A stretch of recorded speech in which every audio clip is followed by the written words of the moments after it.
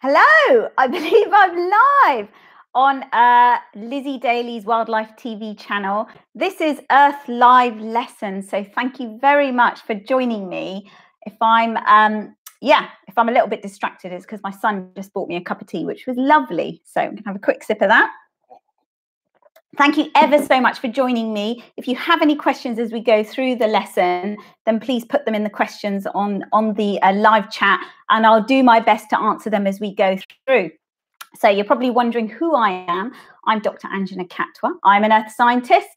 And if you don't know what an earth scientist does, we are scientists who are really interested in rocks, fossils, and landforms, and the stories they can tell us about Earth's history. So that's what we do. So basically, I do pretty much what everybody else on the Earth Live lessons have been talking about, except I deal with dead creatures buried in rocks. So yeah, and I'm going to show you a couple. I've got some set out on my desk here, and we'll go through a couple of those with you. So a good place to start is if you're interested in earth sciences um, and you love rocks and fossils, um, where do you start? Um, for me, uh, probably since about eight years old, I wanted to be an astronaut. And unfortunately, that didn't quite work out. Um, but actually, I still loved science. And when I was about 12 years old, I went to Kenya on holiday with my family. So I grew up in Slough, a very urban environment. Um, didn't have, you know, didn't have that much time in nature. But my family were from East Africa, so we used to go over there to to see some of my mother and father's family that were still in Nairobi. And it was on a trip. I was about 12 years old, and it was a trip when I was out in the East African Rift Valley with my family. We came across an ancient lava flow, and I picked up two pieces of solidified ancient lava. Here, look, I've still got them. Isn't that amazing? That I'm going to show the camera. Look at these two pieces of lava. I was 12 years old when I picked this up, and please don't ask me how old I am now because I just had a birthday. Uh, I picked those two pieces of lava up, and that was it. I was completely blown away by what geology could tell us about the landscape and about Earth's history.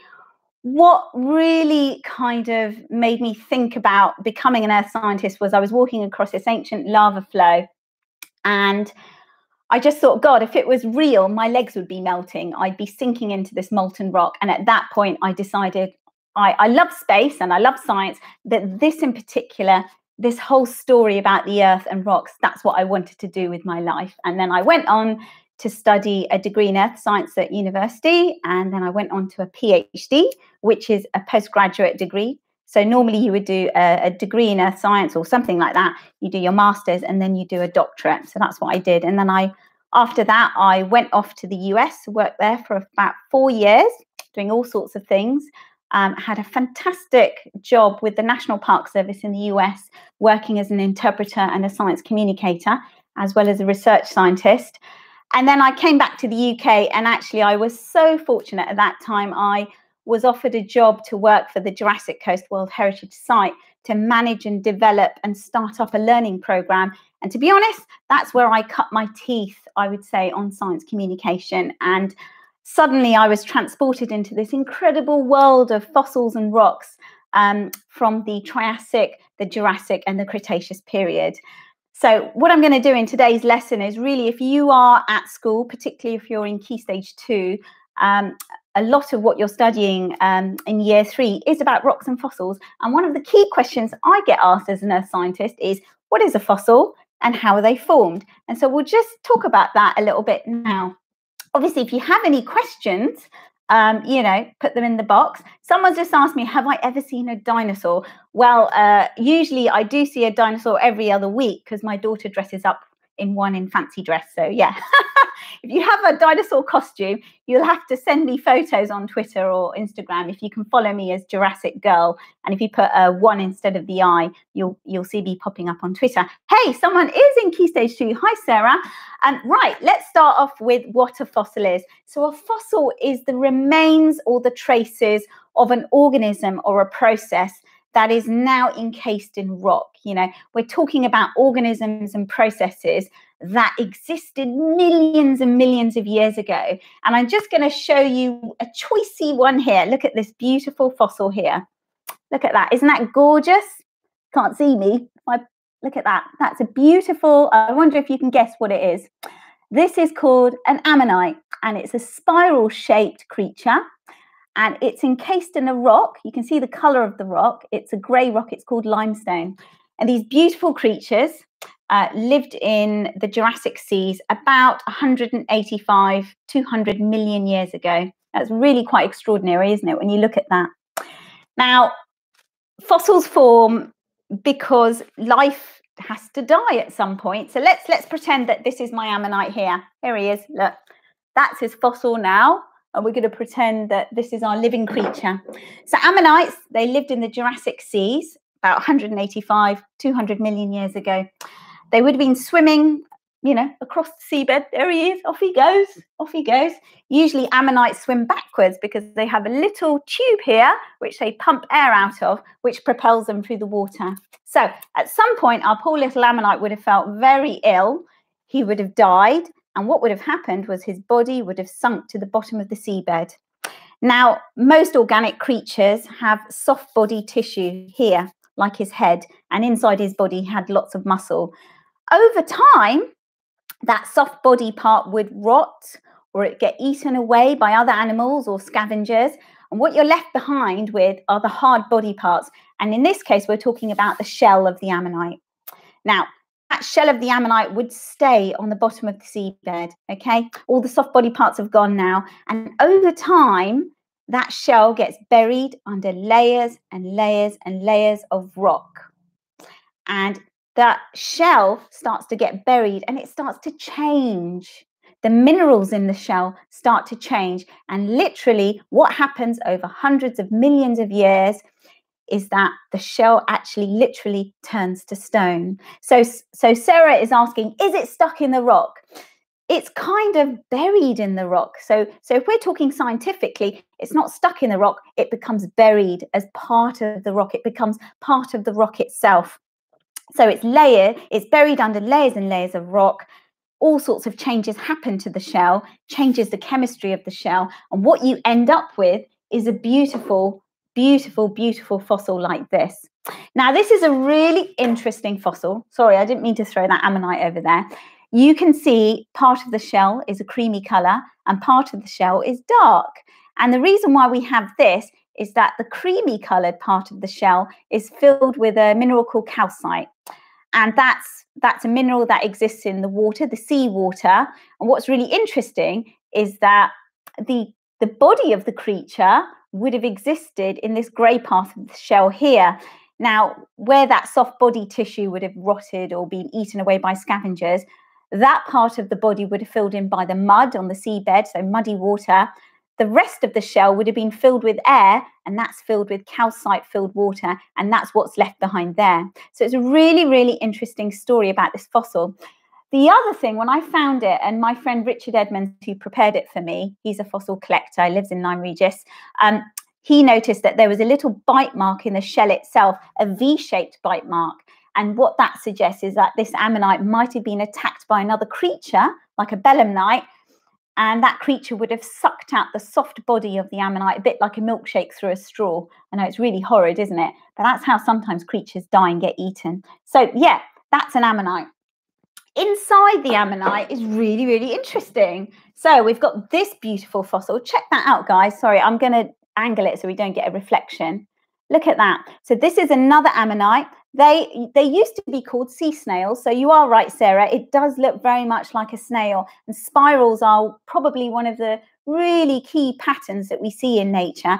But inside the, the shell of the ammonite, you can see these chambers. They're called the body chambers. And what the ammonite used to do was pump air in and out of the chambers, and that would have helped it in terms of its buoyancy to move and propel itself through the water. So it's a bit like an aqualung, really. The more air you have in your body, the more buoyant you are in the water. If the ammonite was to squeeze the air out of its shell, it would sink. So it, it was a way of the ammonite actually controlling its motion through the water. That's what these body chambers were used for. So those are some ammonites. Now, rocks are indeed really fascinating things. I think when you wherever you live right now, um, especially in this lockdown period, wherever you live, there is an interesting story under your feet. And if, if you go over to my YouTube channel once you've watched this show and you Google Dr. Anjana Khatwa or you follow the link in the description, you'll see a new series that I've created during lockdown called Where on Earth Do You Live? And this is all about me trying to help you at home understand the incredible stories locked in locked away in the rocks that are under your house in your hometown. And what I'm trying to do is get people to tell me where they live and I'll reveal the stories in the rocks that are locked under your feet. So, let's have a look at some rocks here that have some really great stories.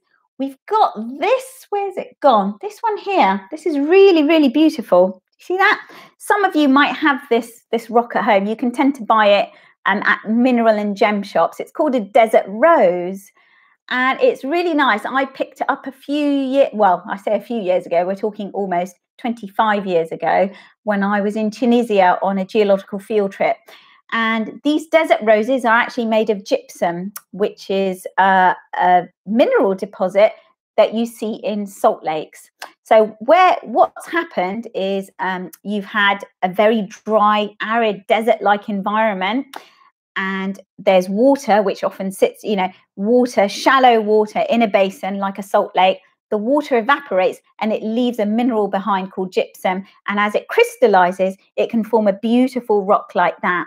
Okay, so so that's a desert rose, and that's got a really wonderful story. And sometimes, if you go to um, rock exposures, so for example, if you live in the UK, we've just seen somebody pop up in the US. If you go to um, areas of wherever you live which have Triassic deposits. And because I live in Dorset, I go to East Devon to have a look at the Triassic rocks. They're sandstones, they're rich red sandstones. And in the middle of those sandstones, you can see bands of white colored rock, and that's called gypsum. And as geologists, what we do is we look at the rocks to tell us a story of how they formed and what that environment was.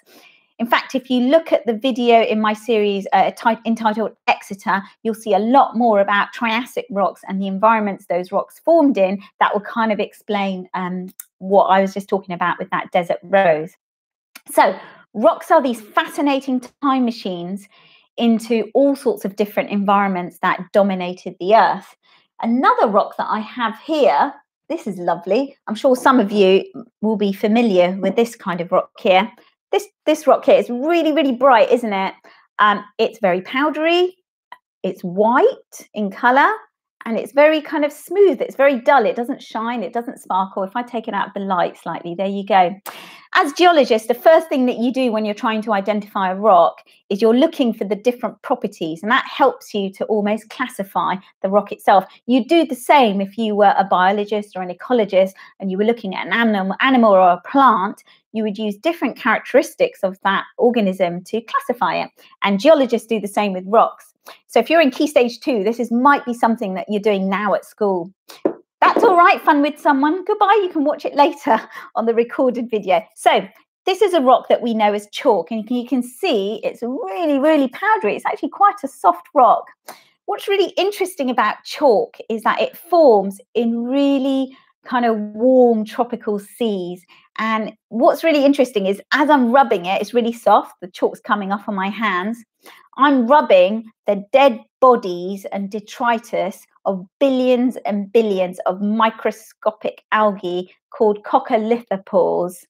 And when I mean detritus, I mean the actual poo of the algae itself. So hundreds of millions of years ago let's let's say most of the chalk in this country was forming around about between 90 to kind of 64 million years ago in, during the cretaceous period so 90 million years ago britain was covered by a warm tropical sea usually in these tropical seas and I th- i'm sure you can probably find out more if you look at the rest of the earth live lessons earth lessons live there is somebody that's probably worked in a tropical sea environment what we tend to see in those tropical sea environments are, are algae blooms. And this was happening during the Cretaceous. Now, these coccolithophores that were living in the water at the time, their bodies would have, as they lived and died, their, their tiny microscopic bodies would have cascaded down through the water column and ended up on the bottom of the sea. And eventually, over time, their dead bodies and their detritus, their poo, would have built, would have, would have basically cemented together and formed a huge layer of chalk over time, which is what this rock is. Now, this particular rock, it has a fossil um, imprint in it already. I don't know if you can see it. The light isn't so good. Let's just see if I can get a shadow on that. It's actually the fossil. It's a fossil of a bivalve, and it's actually a seashell there. Another fossil that I've got here, which is probably a little bit clearer, this is also from the chalk. This is called a sea urchin, and I wonder if you can see it just there. You can see it's like a heart-shaped fossil, and it's got this beautiful pattern embedded on the rock itself. Try and see if I can get that better in the light. Now, sea urchins, um, you know, you've probably seen them if you've if you've watched any kind of wildlife programs um, that have been filmed underwater. But they tend to have those spikes sticking out, don't they? Now, what's happened to this sea urchin is the spikes have fallen off, the spines, sorry, they've fallen off and they've dissolved in the water. And what we're left behind is the hard body part here, and that's the sea urchin. So when we look at when we look at fossils like this in the rock, we know that sea urchins and particularly beautiful seashells like this, some of these creatures live in really warm tropical seas. And geologists use the fossils to help us. It's almost like being like a detective. And I'm a big, I'm a big crime fan. I'm, I love murder mystery. God, I love an episode of Columbo, don't you? So what we do as scientists is look for the clues to tell us about the environments in which these rocks formed. And fossils like uh, sea urchins and these these kind of seashells, they are all clues to help us piece together the story of the rock. So that's fantastic. I do love I do love a fossil. Now, I've obviously got lots and lots of different fossils here. Here's another beautiful ammonite. This is a Jurassic one. This is probably one that I picked up in Charmouth on the Dorset coast. And I think if you are interested in going fossil collecting, it's probably one of the most brilliant activities you can do once lockdown finishes and it's safe to go out onto the beaches and to go out out and explore things. Um, if you do go fossil collecting, one of the key things is to be safe, is to check the tides, check the weather, um, and obviously keep away from the cliffs at all times because they're very crumbly and you don't want a rock to land on your head. One of my best fossils that I ever found, I was in Lyme Regis working with another colleague of mine. I found this. And this, we talked about ichthyosaurs in the feed. This is the jawbone of an ichthyosaur. And I was sitting on a big lump of uh, lias, blue lias, which is a piece of Jurassic rock, as the, as the tide was going out. And I pulled this out of the soft clay that I was sitting on. And I just, I was amazed because when my colleague identified it as a piece of ichthyosaur bone, I was like, I was like, that was the first piece of bone that I've ever found, my first ever fossil bone. So that I, I was absolutely delighted with that. And ichthyosaurs were very prevalent in the Jurassic period. And you know, if you're lucky enough, you might find one if you go fossil collecting. Another really common fossil that you'll see, particularly if you go fossil collecting on the Jurassic coast, is one of these. If you don't come back with one of these, give me a call and I'll I'll I'll shout at you over the phone. Because belemnites, these are belemnites, they they were squid-like creatures during the Jurassic. They're probably one of the easiest fossils to find on the beaches. Um, and obviously, I should say that the best time to go fossil collecting is during the winter months when the waves are really giving those cliffs a bash. That's what you need. You need really rough and stormy weather. You need waves to erode those cliffs, wash the fossils out onto the beaches, and that's where you find them. But you tend to find, if you find a belemnite like this, you're really, really lucky. What you tend to find are the belemnite fragments broken up. But I'd be surprised if you didn't walk away from a little with a little belemnite fossil the next time you go fossil collecting. I've got two minutes left. Gosh, that has been fun, hasn't it? I think another rock, finally, that I'd like to show you is a bit broken up. This is a piece of coprolite.